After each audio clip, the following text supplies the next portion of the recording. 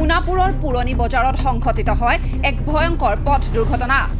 থিতাতে নিহত হয় এগৰাকী পথচাৰী। পথ পাৰ হৈ থকাৰ সময়তে A S two five D C zero' three one five নম্বৰৰ এখন চাৰিচকীয়া বাহনে মহতিয়াই নিয়ে পথচাৰীগৰাকীক। নিহত হোৱা ব্যক্তিজনৰ নাম ৰাম কুমাৰ বাজফুৰ ঘটনাস্থলীত সোণাপুৰ যান বাহন আৰক্ষী উপস্থিত হৈ বাহনখন জব্দ কৰে। ঘটনা সংঘটিত কৰিয়েই উক্ত বাহনখনৰ চালকজন পলায়ন কৰে। নিহত হোৱা ব্যক্তিজনক লৈ আৰক্ষীয়ে সোণাপুৰ জিলা চিকিৎসালয়লৈ যায়।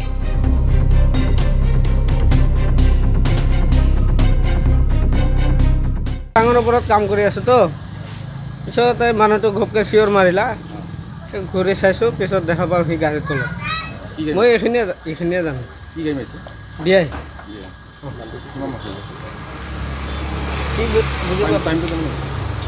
টাইমটো তেতিয়া চাৰে বাৰটামান হ'ল নেকি? অনুমানত কৈছোঁ আৰু কি খোজকাঢ়ি নেকি? সেইটোও মই নাজানো। কেনেকৈ এক্সিডেণ্ট হ'ল কি হ'ল মই ওপৰত আছিলোঁ না। এইখিনিয়ে জানো। নাই তেনেকৈ কিবা বস্তুটো ইয়াতে।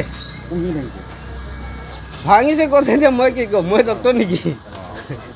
আৰু গাড়ীৰ তলত আছিল নে ওপৰত আছিলে? সিটো গাড়ীৰ তলতে আছিল এইখিনিয়ে মই দেখা পাইছোঁ। থানাত লৈ গৈছে গাড়ীখন? অঁ এম বি আই হেৰি এম্বুলেঞ্চে আহি লৈ গৈছে। মানুহজন মানে নিজে নিজে ফটকৈ পৰি গ'ল। চাকাটো সিহঁতৰ কঁকালৰ ওপৰত অলপ উঠিছে দেখা পাইছিলোঁ আৰু।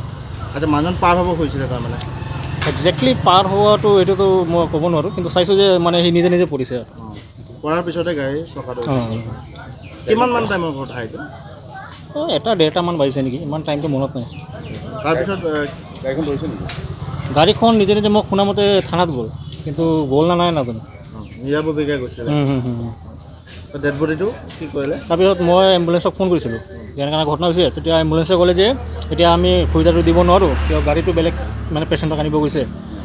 মোক কৈছে যে আপুনি থাকক মই আপোনাক আপোনাক কণ্টেক্ট কৰিম। তাৰপিছত চাইছোঁ যে নাই পিছত অলপ পিছত এটা ওৱান জিৰ' এইট আহিছে লৈ গ'ল।